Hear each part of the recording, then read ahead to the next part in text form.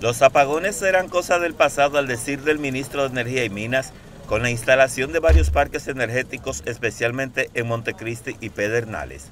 Hay plantas también que ya están viejas eh, y hay también decisiones de corporaciones que existen que para no quedarse fuera del mercado desarrollan estrategias de inversión para salir de su propia planta y sustituirla por otra.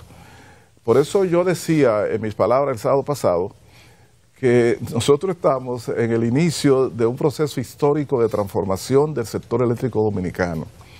Proceso que llevará tres o cuatro o cinco años, pero que va a terminar con un sistema eléctrico en términos de generación extraordinariamente robusto, capaz de abastecer la demanda pico, con una reserva de un 20, 15 o 20% de reserva fría para satisfacer cualquier situación que, se, que ocurra. El ministro de Energía y Minas dijo que el gobierno ha tomado medidas para la participación extraordinaria de energía renovable.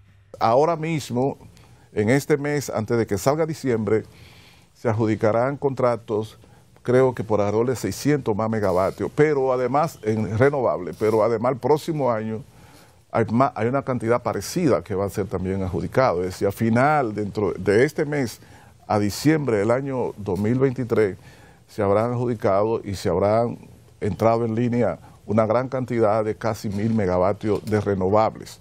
El ministro de Energía y Minas dijo que la energía solar significa cinco o seis horas con menos gas y menos carbón quemado.